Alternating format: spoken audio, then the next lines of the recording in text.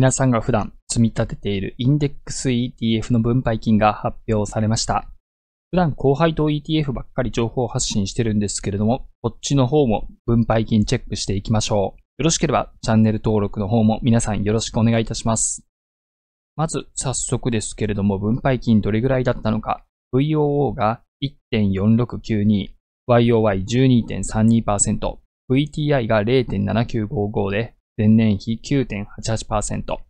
VT が0.4026ということで、マイナスの2.28%、そしてトリプル Q 0.51856ということで、YOY がなんと25.28%というという結果でした。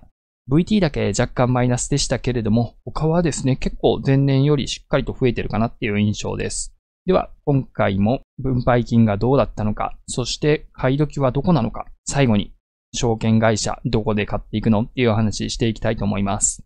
まず、もう釈迦に説法かもしれませんけども、それぞれの ETF ってどんなものなのか。VT っていうのは全世界に投資をすることができるような ETF になってきます。そして VTI はアメリカ全体に投資をすることができる。VOO はさらに狭くなるんですけれども、アメリカの代表的な500社に投資が可能です。そして最後にトリプル Q。これはナスダック100と呼ばれる指数の中の代表100社。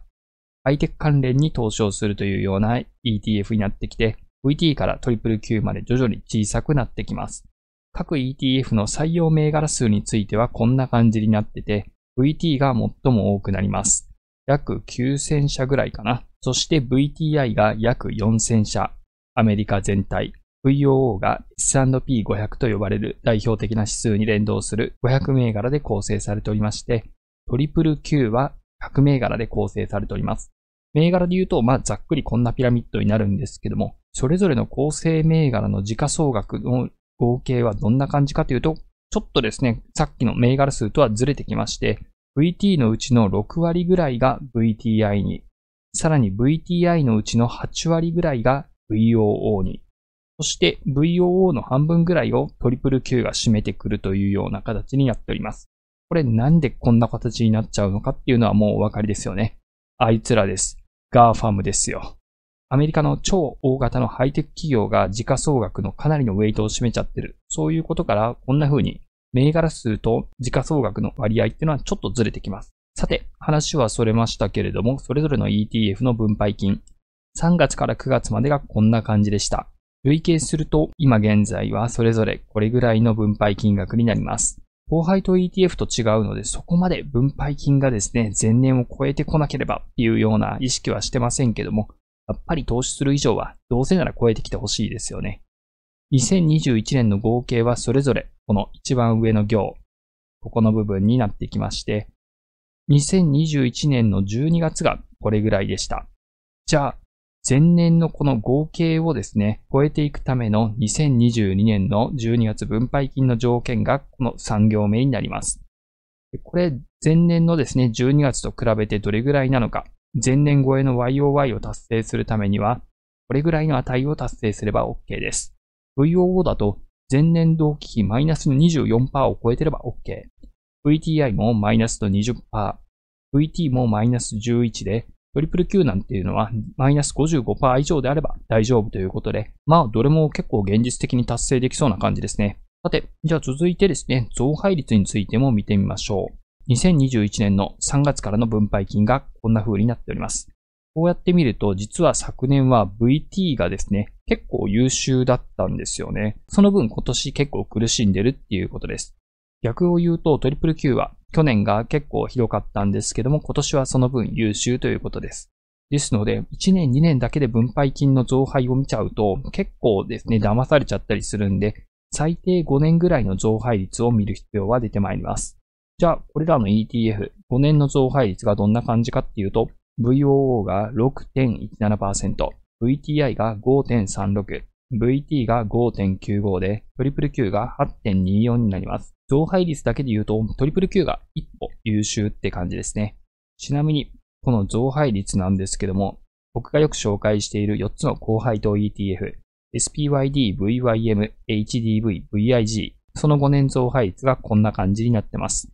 これを見てみるとですね、増配率だけで言うなら、このインデックス系の ETF っていうのも正直高配当 ETF と遜色ありません。なんなら上回ってるものの方が多いですね。では、ちょっとですね、視覚的にこれら4つの ETF の分配金見てみましょう。利回りもですね、この折れ線グラフになっております。こうやって見てみるとですね、まあ、ちょっと遠目に見ると、えー、VOO、なだらかにですけど、右肩上がりかな。VTI も同じ感じで上がってるかと思います。一方で VT は全然ですね、なんか気によって結構ムラっ気ある感じします。トリプル Q に関しては VOO とかよりもちょっと急激に上がってる感じはやっぱりしております。2022年の利回りはまだ算出していないんですけども、2021年までは株高ということもあって、利回りは徐々に落ちてきているというところです。2022年は増配もしっかりとしてるんで、ちょっと利回りは戻ってくると予想されます。以上がですね、現在のこの4つの ETF の配当金の情報でした。では、一つ、株価と買い時について見ていきたいと思います。コロナショックの直前から見てみますと、こんな形になりまして、まあ、ある程度ですね、やっぱり似たような動きをとっております。ただ若干 VT が遅れており、トリプル Q が優秀な結果ですね。ちなみに、2022年年初来からはこんな形で、トリプル Q が圧倒的に凹んでおります。コロナショック当初、回復にちょっと出遅れた VT が、下落局面では逆に強さを見せてくれるのかなと思ったんですけども、リターン見てみると、あんまり VT とか VO と変わってないですね。改めて、これら4つの ETF、すごい似たですね、株価推移をするんですけども、相関係数を見てみましょう。ポートフォリオビジュアライザーというサイトで相関係数出してみるとこんな感じでした。1だと完全に同じ動きを取る。0だと相関性がない。マイナス1だと負の相関という形なんですけども、なんとこれらほぼ1に近い値取ってるんですね。まあ、そんなことから VOO と VT を一緒に持つのは全然分散としては意味をなしておりません。相関性も近いし、リターンもちょっとパッとしてない VT。んじゃあ VT ってどんなメリットがあるの？っていうところ。なかなかですね、アメリカピンポイントでダメージを受けるような事案っていうのはなかなか発生しづらいんですよね。仮にアメリカでですね、大統領に何か身の危険あったら、世界経済自体がパニックになりますし、ただ、もしかすると僕が気づかないだけでですね、VT こんなパターンの時いいよみたいなケースあるかと思います。もしもですね、こんなパターンだったら VT の強みがいきますみたいなケースがですね、あるようでしたら、ぜひコメントでいただければと思います。株価推移、こんな感じの ETF なんですけども、高配当 ETF と同じように、あの時買ってたらどれぐらいの YOC になるのか見てみましょう。まず、今まで3月、6月、9月の3回の分配金出てて、12月がまだ不明です。一旦この369の平均をですね、12月分配金と定して合計すると、各 ETF これぐらい年間でもらえるっていう計算になります。では、あの時に VOO を買ってて、この分配金もらったら利回りがどれぐらいになるのか見てみましょう。暴落直前、暴落の底、そして回復期、直近のピーク、そして現在の5つのパターン、それぞれの時期に購入していると、なんと利回りはこんな感じです。VOO にもなると、暴落の底で買ってても利回りは2.81%なんですね。これはやっぱりこの2020年、2021年の株価の回復があまりにもすごかったっていうところは大きいと思います。そして現在だと1.70%っていう状況ですね。まあ、高配当 ETF だったら物足りないですけども、インデックス投資なんで、この利回りはあくまでも参考に思ってください。VTI についても同じような感じになります。暴落の底だと2.68%。現在が1.65%になります。VTI の方が小型銘柄とかも含まれておりまして、分配金があんまり出てない企業も多くなるんで、利回りは若干下がる傾向にはあります。そして VT。こちらは、フッティオールワールドインデックス。9000銘柄を超えてくるような ETF になりまして、経費率はですね、昔から順調に下がってきて、現在は0.07%です。ただ、預かり資産って実はそんなに多くなくて、世界現在68位というところ。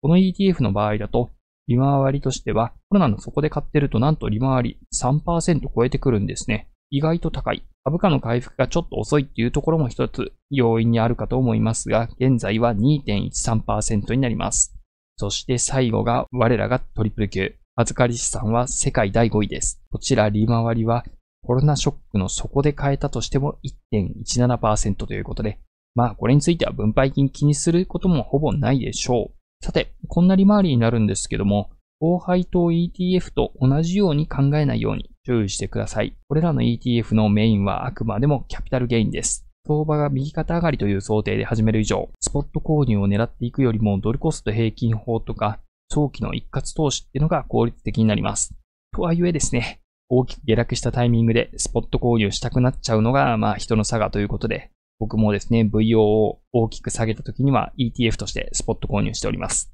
ただ、どこの証券会社で買っていくのっていうのも、この先ですね、すごい重要な選定要素になってきます。最後に、どの証券会社で買っていくのか、そんな話をさらっといつものようにしていきたいと思います。今回紹介した4つの ETF って実は楽天、SBI、マネックス、どこでも買い付け手数料無料なんですよね。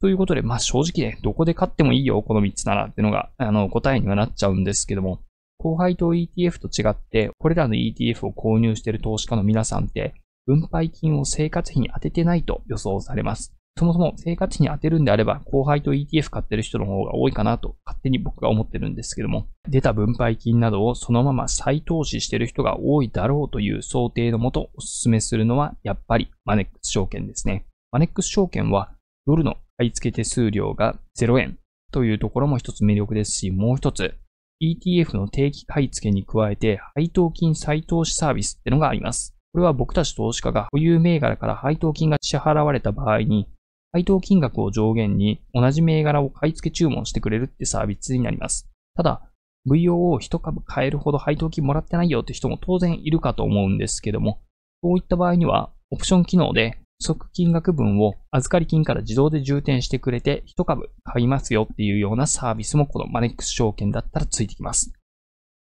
少しでもお金に働いてもらう、効率的に投資をしたいっていう人はですね、マネックス証券がおすすめになってきます。概要欄に講座解説リンクも貼っておきますんで、よろしければマネックス証券で ETF の積み立てチャレンジしてみてください。さて、今回は VOO、VTI、VT、トリプル Q という4つの ETF の分配金結果を紹介させていただきました。思ったよりも増配率良さそうでして、12月終わった段階では高配当 ETF よりも増配したっていう年になるかもしれません。株価は古典版、高配当 ETF よりもやられてますけど、その分、分配金で頑張ってほしいもんですね。12月も配当速報を出しますんで、よろしければチャンネル登録お願いいたします。それではまた次回の動画で会いましょう。ありがとうございました。